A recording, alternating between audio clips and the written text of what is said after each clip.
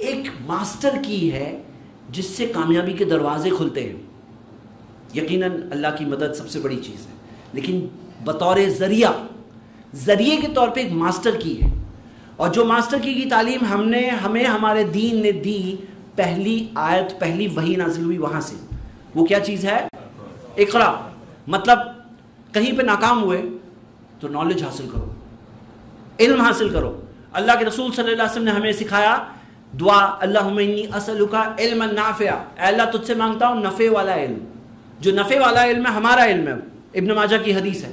उसी तरह मुस्द अहमद में हदीस हमें मिलती है कि बद्र के जब कैदी पकड़े गए थे, बद्र की जंग के अंदर जो मरने, मारने के लोग लोग आए थे, दुश्मन, उनमें से जो कैद हुए थे, अल्लाह के रसूल सल्लल्लाहु अलैहि वसल्लम ने उन्हें एक ऑफ़र दिया। क्या ऑफ़र दिया?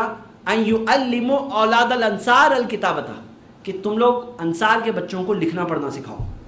तुम हमारे अंसार के बच्चों को, इतने बच्चों को सिखाओ फ्री हो जाओगे। इतने बच्चों को तुम लिखना पढ़ना नहीं आता, ऐसे बच्चे हम तुम्हें देंगे, वो बच्चों को तुम लिखना पढ़ना सिखाओ, उतने बच्चों को पढ़ना, लिखना पढ़ना सिखा दिए, अब आज़ाद हो गए, जाओ। नबी अलैहि वसल्लम ने ऐसे लोग जो मारने के लिए आए थे, जो दुश्मन थे, उनको टीचर बना दिया उनको क्या किया? टीचर बनाया कि तुम इतने बच्चों को सिखाओ। मतलब दुश्मन के भी इल्म से फ़ायदा उठाया। तो हमें हमारे दीन ने सिखाया। अब मेरे भाइयों, यहाँ क्या मामला होता है?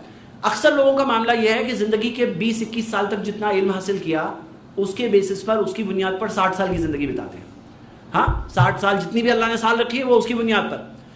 और इल्म की ये कैद कर दिया है खास तौर से हमारे जो इलाके से हम लोग आए हैं, यहाँ पे उम्र कैद है, ये उम्र पढ़ाई की उम्र है, इसके बाद में कमाई की उम्र है, लेकिन किसने कैद किया? इल्मन नाफिया फ़ायदेमंद इल्म हासिल करने की उम्र किसने कैद करके दिया है? ये फॉर्मेट किसने बनाया? हम नहीं मानते उस फॉर्मेट को। हम नहीं मानते। हैं हमारे नज़दीक तो इल्म की फजीलत है और सबसे अहम इल्म दीन का इल्म है। सबसे अहम इल्म आखिरत का इल्म है कोई शक नहीं।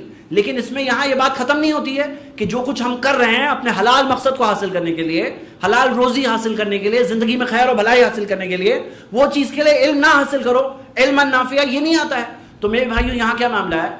कि सीखना सीखना अब आप सबके सामने बात रख रहा हूँ, ये कल्चर वेस्ट में आ गया, जबकि वो इस्लाम की सिखाई हुई बात है कि वहाँ पर आदमी चालीस साल का हो गया, पचास साल का हो गया डिग्री कर रहा है। बोले, अभी तुम डिग्री अभी कर रहे हो, कर रहा है। तो इल्म की अहमियत क्या है? आपकी शादी हो गई तो कुछ लोग बोलते हैं, शादी के बाद कहाँ पढ़ाई होती है? ये चीज़ की वजह से लोग शादी लेट करते हैं। पच्चीस, तीस साल के हो जाते हैं, शादी नहीं करते हैं, क्योंकि पढ़ाई चल रही है मास्टर्स चल रहा है ये चल रहा है। हालाँकि ये बात बिल्कुल गलत है इस्लाम ने तो ये सिखाया कि जल्दी शादी कराओ अब जल्दी शादी कराओ मतलब शादी के साथ बच्चों के साथ भी पढ़ाई होती है, बल्कि और अच्छी पढ़ाई होती है, और अच्छी पढ़ाई होती है। तो मैं आप सबको उभारता हूँ कि ज़िंदगी में अल्लाह ने आपको जो कुछ बनाया, इल्म नाफिया, फ़ायदेमंद इल्म हासिल करो। और आज इल्म के ज़रिए बहुत कॉमन है, सबसे पहले सबसे फ़ायदे, सबसे बड़ा फ़ायदा आपका दीन के इल्म है, इसमें कोई शक नहीं। लेकिन जो आपका बिज़नेस का टाइम है वर्किंग का टाइम है, उसमें थोड़ा टाइम आपकी नॉलेज इंप्रूव करने के लिए होना चाहिए कि कोई बिज़नेस कर रहे हो। अब यहाँ क्या होता है कि लकीर के फकीर होते हैं कई लोग। बस वही लकीर है उसी के फकीर। उससे आगे बढ़ते ही नहीं है। तो यह होना क्या चाहिए? सीखो। इल्म नाफिया, इकरा पढ़ते हैं, इकरा इकरा क्या है इकरा? पढ़ो। पढ़ो। और पता है आपको मेरे भाइयों, आज ऐसे ज़रिए आ चुके हैं। एक मिसाल देता हूँ। एडेक्स नाम का एक ऐप है और ऐसे बहुत सारे ऐप्स हैं। उसमें दुनिया की सबसे टॉप यूनिवर्सिटीज हाँ हार्वर्ड, ऑक्सफोर्ड वगैरह आप जो भी बेस्ट यूनिवर्सिटीज है, वहाँ के कोर्सेज ऑनलाइन मिलते हैं, फ्री में। फ्री में करो कोर्स। डिग्री चाहिए तो पैसे देने पड़ेंगे। डिग्री नहीं चाहिए, सिर्फ़ इल्म चाहिए तो फ्री में कोर्स करो, नो प्रॉब्लम। तो मैं खुद एक कोर्स कर रहा हूँ, क्योंकि मुझे खुद अपने काम में महसूस हो रहा है कि नहीं मेरे अंदर ये चीज़ का इल्म नहीं है, जो आज 41 इयर्स की उम्र हो गई, लेकिन मैं कोर्स कर रहा हूँ अभी भी। तो क्यों कर रहा हूँ? और जो हम सबको करना चाहिए, देखना चाहिए कि भाई ये चीज़ में मुश्किल आ रही है, ये चीज़ में नाकाम हो रहा हूँ मैं। अब इसके अंदर इल्म नाफिया चाहिए मुझे। और वो इल्म नाफिया कई बार मास्टर की होती है। कई बार कोई चीज़ में आदमी फेल हुआ ना, उसको जब नॉलेज मिलती है उस चीज़ के अंदर वो इल्म ज़रिया बनता है कामयाबी का। देखो क्या है ना? कामयाबी अल्लाह के हाथ में कि नहीं? लेकिन अल्लाह ताला ने सिस्टम रखा है कुछ दुनिया में। दुनिया में सिस्टम रखा है, बारिश आती है तो बादल आते हैं, फिर बारिश आती है। ऐसे भी बारिश अल्लाह भेज सकता है, बगैर बादल के बारिश भेज सकता है। लेकिन अल्लाह ताला ने सिस्टम बनाया कि बादल आएँगे, बादल इस तरह से टकराएँगे, उसमें से बारिश निकलेगी। तो ये सिस्टम बना हुआ है। वो सिस्टम को तोड़ने की कोशिश मत करो, अल्लाह चाहे तो भेज सकता है बारिश। बहुत से लोग क्या है ना, कि मेरे पास बादल तो नहीं है, लेकिन बारिश चाहिए अल्लाह। हाँ? तो आपके पास जो चीज़ें हैं, वो है या नहीं है? मिसाल के तौर पे कोई चीज़ में आप नाकाम हुए ना, अभी तो सीखो, अभी तो सीखो। नाकाम होके भी कई लोग सीखते नहीं है ना, ये बहुत अफसोस की बात है। तो नाकाम होके आदमी को सीखना चाहिए कि मैं नाकाम हुआ। क्या सीखने के लिए है इसमें? इसमें क्या है सीखने के लिए? और इल्म हासिल करो, खुद कोर्स करो। स्टाफ को कोर्स करो, आपके साथ वालों को। कई बार क्या होता है, साथ वालों का डेवलपमेंट करना होता है। साथ वालों का डेवलपमेंट करना होता है कि भाई क्या है?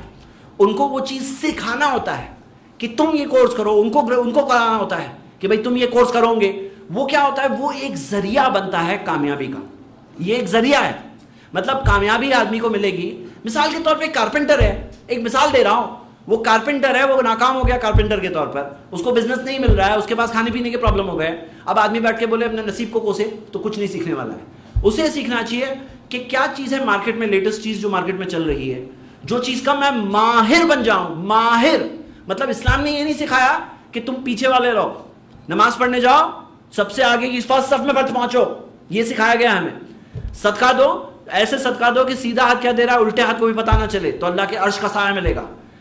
जो चीज़ कर रहे हो अल मुहसिन युहिब्बुल ihsan अल्लाह ने कहा। अल्लाह के रसूल ने फरमाया, अल्लाह के नामों में से नाम है अल मुहसिन का मतलब है एहसान करने वाला।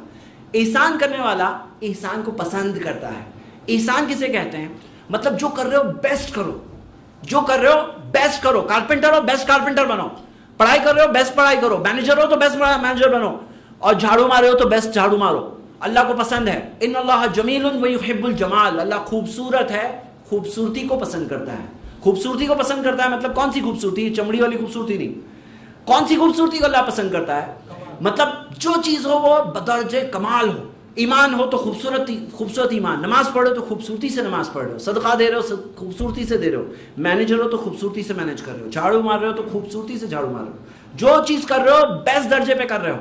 तो अल्लाह को ये बहुत पसंद है। और फिर इसको अल्लाह रिज़ल्ट देता है।